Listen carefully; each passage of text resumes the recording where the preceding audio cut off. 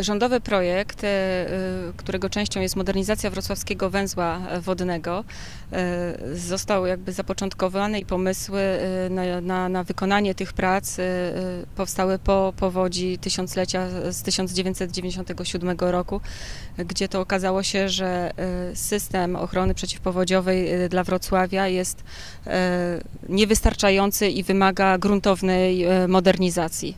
Finansowanie projektu było z pożyczek i kredytów, które zawarł rząd polski z Międzynarodowym Bankiem Odbudowy i Rozwoju, jak i Bankiem Rozwoju Rady Europy, jak również e, z, e, ze środków e, Unii Europejskiej w ramach Funduszu Spójności.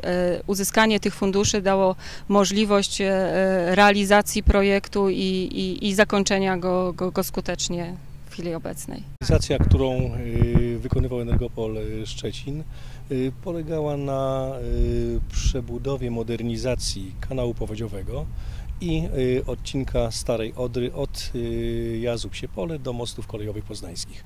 Kanał powodziowy był to odcinek blisko 6-kilometrowy, który zostały brzegi umocnione gołowłókniną, narzutem kamiennym i potem zahumusowane, obsiane. Modernizacja kanału powodziowego poprawiła czy powiększyła przepustowość przepływu wody przez kanał powodziowy o ponad 11%.